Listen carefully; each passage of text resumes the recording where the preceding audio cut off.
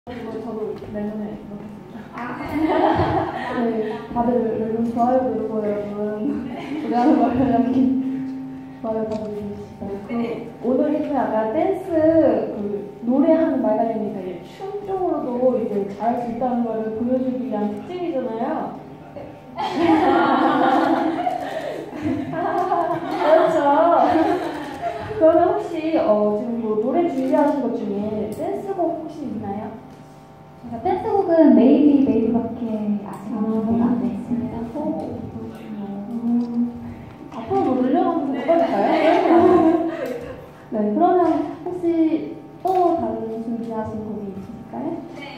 네, 이번에 저희 들려드릴 곡은 좋아요라는 곡인데요. 어, 이제 어떤 누군가를 좋아하게 되면 그런 갑자기 좋아해지는 낯선 느낌까지 다 좋아지게 되잖아요. 그런 마음을 담은.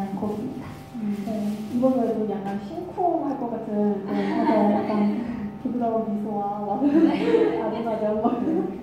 정말 빨리 네, 노래 듣도록 하겠습니다. 네.